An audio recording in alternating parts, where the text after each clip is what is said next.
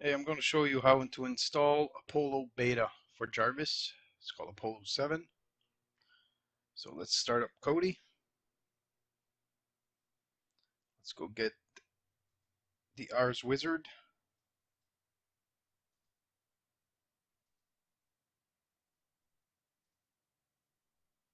Click on Browse Builds. Click on Apollo. And then click Fresh Start.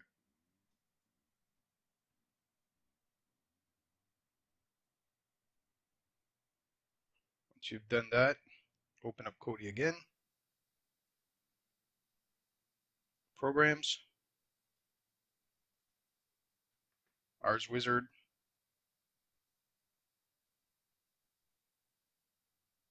Browse build.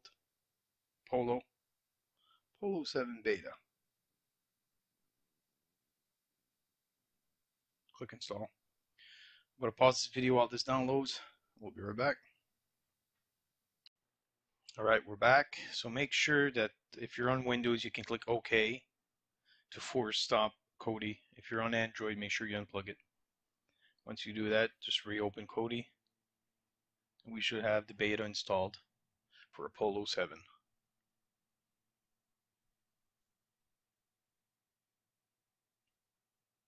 Now this build is complete. So it has so many movies add-ons and TV add-ons. It's uh, just it would take hours to review to be honest. So I know everything works because I've been on Apollo now for a while so it's uh, pretty good and they update it uh, almost daily even uh, sometimes a couple times daily. So it's uh it's pretty awesome. The only thing let's go to uh, system here.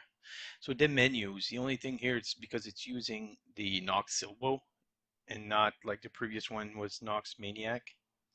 Silvo won't let you hide any menus. So let's have a quick look here. Appearance, skin, skin settings.